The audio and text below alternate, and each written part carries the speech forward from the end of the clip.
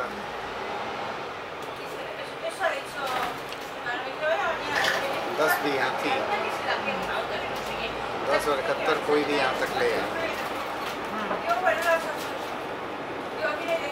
लेकिन ये घूम के जाएगी